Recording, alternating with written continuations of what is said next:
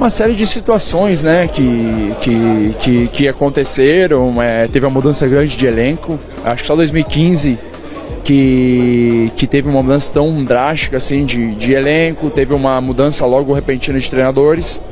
E eu acho que tudo, juntar tudo, por mais que a gente tenha que deixar de lado isso, acho que atrapalha. atrapalha. Mas o importante é que o, que o clube está se arrumando, o clube está evoluindo, os resultados têm acontecido, as últimas, as últimas partidas os resultados são bem positivos, tanto que a gente estava numa situação que falavam que a gente estava brigando para não cair, hoje, independente dos resultados, a gente pode ser que, que tenha a chance de, de, tá, de conseguir uma classificação é, na última rodada. Então. É o Mano, é o Vitor Pereira, é o Lázaro, Lucha. é o Lucha, é o Cuca, é todo mundo. Ah, o Lucha não dá treino, não serve. Ah, Vitor, então vocês jogadores estão pensando o quê? Como é que pode o Fausto Vera, meu irmão, um volante argentino que veio de um timinho pequenininho, que é o Tadieres, pequenininho, argentino Júlio e Tadieres, os dois são pequenos. São duas titica. Pô, vocês vêm aqui e não sabem o que... Cê... Aí você pega o Alisson, porrada. Você pega o Rafinha, na manha do gato. Você pega a Arboleda, porrada.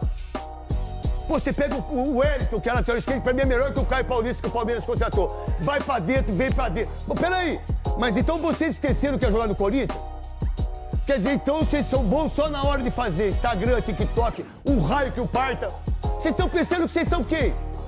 Vocês estão pensando que vocês estão no resort, irmão? Pô, 45 mil pessoas. 45 mil. Dias Rojas aí que não joga nada. Jogadorzinho medíocre medíocre. Aí ele, pô, tem direito de receber? É óbvio que tem, pô. É óbvio que tem. Na pandemia aqui não atrasou um dia o meu salário, de ninguém. E hoje já caiu o pagamento, meu irmão. Hoje, hoje já caiu o pagamento de todo mundo aqui. Todo mundo já recebeu o seu salário aqui. É, quarto dia último do mês, a gente recebe no 7, a gente recebe dia 7. Já caiu o salário de todo mundo aqui, rapaz. Como é que você vai chegar aqui na porta aqui e vai, não vai querer trabalhar, velho?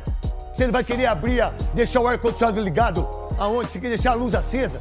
Ou quem faz isso é vagabundo. Não tem que estar trabalhando aqui, velho. Tem que respeitar. Aí você pega um clube como o Corinthians, que arrecada um bilhão, deve 620 milhões de impostos. Mas como assim?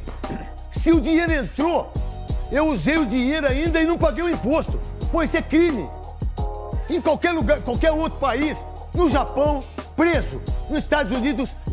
Ah? Você não vai ver mais o Corinthians entrar em campo e não disputar a bola, ficar cercando galinha. O Corinthians vai disputar toda a bola. A bola é o prato de comida. Perder e ganhar faz parte do futebol. O que nós temos que fazer é competir o tempo inteiro. Nesse sentido. Nós vamos competir o tempo inteiro. Se o Corinthians já está com o time ideal para disputa da temporada, na tua o Corinthians já está com o time ideal para disputa da temporada, na tua visão? Eu acho que está bem longe. A gente precisa de jogador, a gente precisa contratar, precisa trazer. A gente tem que ser honesto também. Não cabe a mim quem contrata, quem vem, quem chega, mas nós precisamos reforçar, né? O volante não pode estar de zagueiro aí hoje. Acho que nós precisamos trazer jogadores, nós precisamos melhorar. A gente tem que ser honesto. Não pode falar, saiu 12, 13 jogadores e, e, e eu, eu, entendo que os meninos são importantes, vão ser muito importantes, como foram no passado, em certos momentos.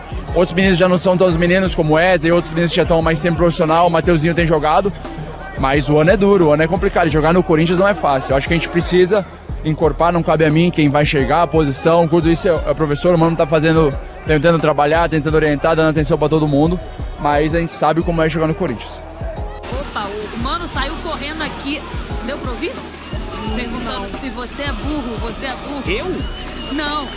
Ó, agora, acho que é pro Yuri Roberto, ó. É pro Yuri Roberto. Ainda fala o palavrão agora aqui que é... Eu não vou repetir aqui, não, não, sabe? Não, é, eu ia tentar fazer, mas melhor não. Mas é pro Yuri Roberto. Exatamente isso que é o futebol. A gente não descontextualiza, só descontextualiza quem quer fazer um tumulto. O jogo é um lugar onde as palavras são fortes, né? mas a gente se abraça logo depois porque sabe que a cobrança não é pessoal. Né? A atitude pode ter sido burra naquele momento, é uma falta de ataque, você não pode fazer uma falta de ataque, você está com um homem a mais. Nós temos cinco, seis faltas de ataque. Né? Então a gente, quando se refere a isso, sempre é a atitude, não é a pessoa. Né? E, e, quem deu meio chutinho sabe que é assim. Tá? Então vamos continuar falando para as pessoas do futebol. Se quiserem fazer reality show, bom, daí eu acho que tem que ir para outra coisa, a gente não faz, né? Então de, de Uri Alberto, do abraço, é porque Yuri tem se dedicado muito sempre, todos os treinos, todos os jogos. E Yuri é um cara que é, se doa para a equipe, mas está vivendo esse momento de dificuldade. É nesse momento de dificuldade que a gente tem que estar tá ao lado deles, né? Cobrar duro, mas, mas, mas dar carinho, né? A gente é assim, esse faz, essa é uma parte que faz parte do, do trabalho do treinador. Talvez te referisse aí uma uma cobrança do, do Ranielli porque ele tentou uma, chutar uma bola no gol, acho que estava lá em Cuiabá, tentou chutar, não dá, né? Estamos no Corinthians.